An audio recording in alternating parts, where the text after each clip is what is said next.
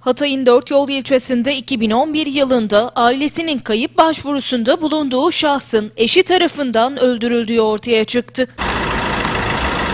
2011 yılında kaybolan ve ailesinin jandarmaya başvuruda bulunduğu Mehmet U'nun bulunması amacıyla özel olarak kurulan cinayet büro ekipleri titizlikle yürüttüğü araştırmalar sonucunda şahsın tabancayla öldürülerek araziye gömüldüğünü tespit etti. Soruşturmayı derinleştiren Hatay Cinayet Büro ekibi tarafından olayla ilgili Mehmet U'nun eşi H.U. ile Y.T. ve E.Ç. isimli şahıslar Antalya'da yapılan operasyonla gözaltına alınarak Hatay'a getirildi. Mehmet U'nun eşi H.U. ifadesinde aile içi şiddet nedeniyle eşini tabancayla öldürdüğünü ve araziye gömdüklerini itiraf etti.